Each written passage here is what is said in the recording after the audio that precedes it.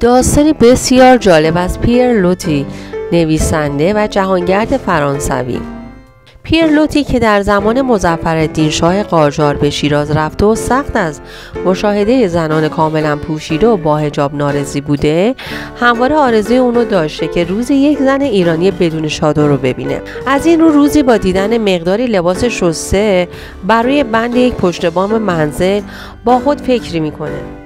که حتما تا شب نشده خانم خانه برای برداشتن اونها به پشت بوم میاد و اون می‌تونه موفق بشه تا اون زن رو ببینه.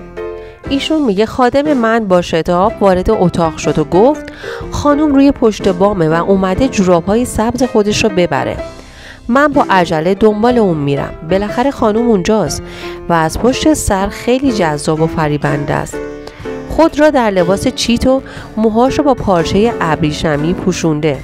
بالاخره سر خودش رو اون زن برمیگردونه و با چشمای حیله‌گرش به پیر لوتی میگه همسایه ها بی خود زحمت نکشید. این خانم پیرزنی هفتاد ساله. دندوناش هم ریخته کلفت پیر خونه است. واقعا ما چه اندازه ساده لوحیم که تصور می‌کنیم خانم زیبارویی میاد روی پشت بون و خودش رو در معرض دید دیگران قرار subscribe نکردید؟ با زدن دکمه پایین ویدیو با من همراه شید که در اینجا من از زنان تاریخ ساز و موفقی که در طول تاریخ نادیده گرفته شدن رو به شما دوستان عزیزم معرفی می‌کنم. باشد که توانسته باشم قدمی هرچند کوچک برای بانوان سرزمینم برداشته باشم. با من همراه باشید.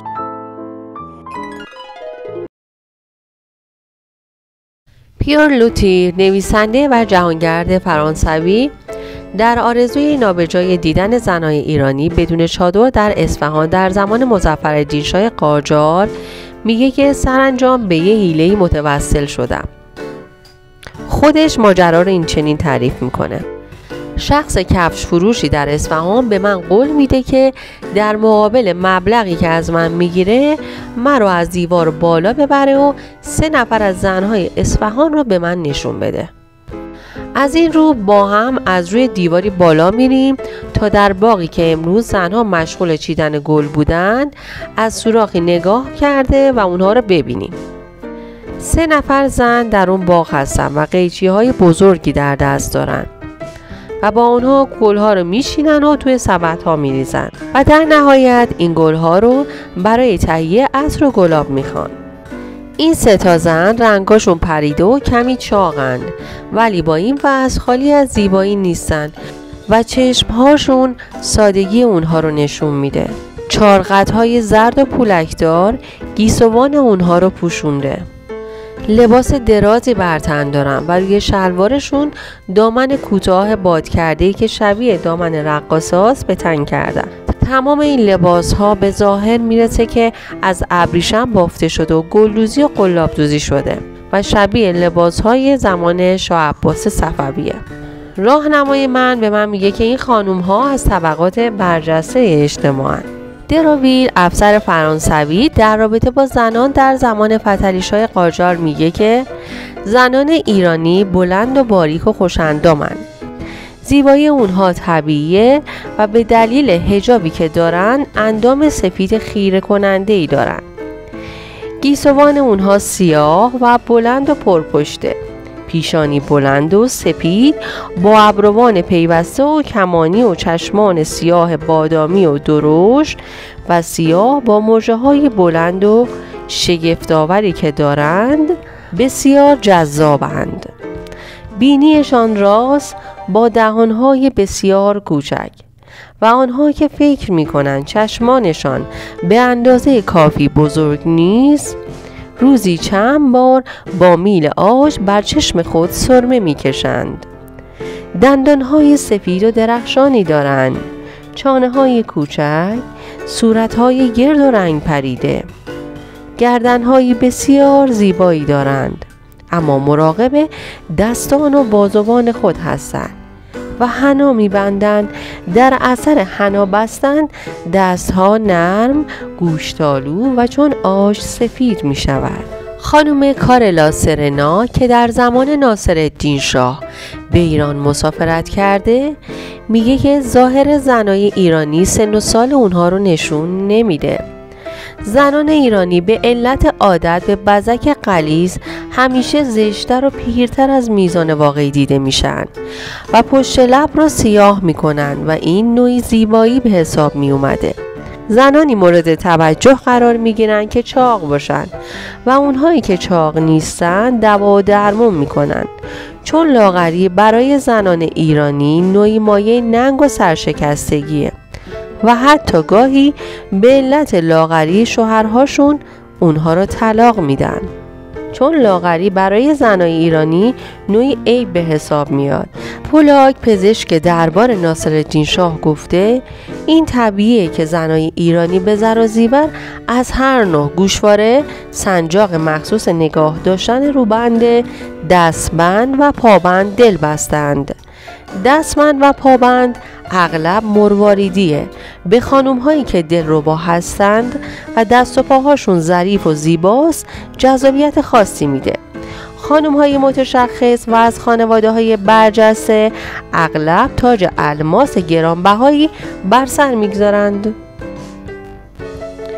دالمانی تاریخ نویس و سیاه فرانسوی در رابطه با زنان ایرانی در زمان مزفر شاه گفته زنان ایرانی چشمان فرو رفته خمارالودی دارند و همانطور که مغناطیس آهن رو می رو باید زن ایرانی هم با کرشمه و نگاه فورا مرد رو مجذوب و شیفته خود می سازه. زن زیباروی ایرانی می‌تونه تمام افکار و احساسات درونی خودش رو به وسیله حرکات ابرو و مژگان بروز بده. آرایش صورت و پلک های سرمه کشیده توانایی خاصی در این زمینه به اونها میده. عنبیه چشمهاشون زیبا و قرنیه کهربایی و مردمک سیاه رنگی دارند. ابروهاشون تا شقیقه ها امتداد یافته. و قوسهای منظمی دارند و در بالای بینی یک خال مصنوعی می‌کشند. لبان قرمز رنگ و انگیزی دارند. رنگ پوستشون هم اغلب سفیده و بلند بالا نیستن و دارای جلال و وقار می باشند.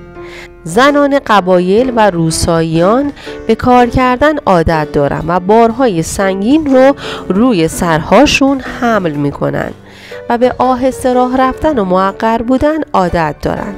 و برعکس زنان شهری با کمترین کوشش فوری خسته میشن.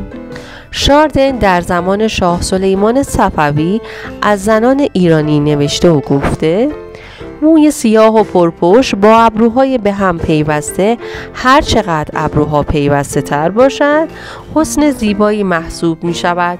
در بالای پیشانی خال لوزی مانندی می کشند و دستها و پاهاشون رو حنا می بندند.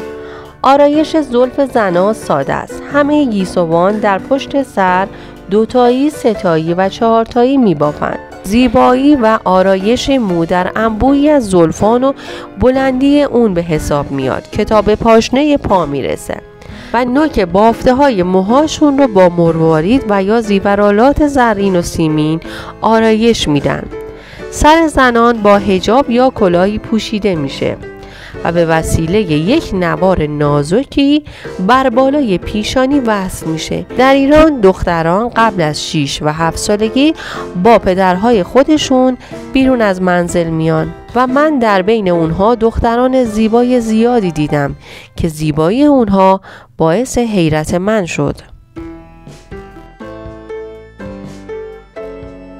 عزیزانم اگر از ویدیوی من خوشتون اومده و براتون سودمند بوده برای حمایت از من ویدیو رو like و کانال من رو subscribe کنید و یادتون نره زنگوله رم به صدا در بیارید و روشن کنید. تا هر وقت ویدیوی جدیدی گذاشتم شما جزو اولین نفراتی باشید که ویدیوی من رو می‌بینید. البته باعث افتخارم است که شما در کنارم هستید و حمایتم می‌کنید. سپاسگزارم از حضورتون و دوستتون دارم و خدا نگهدار. Thank you.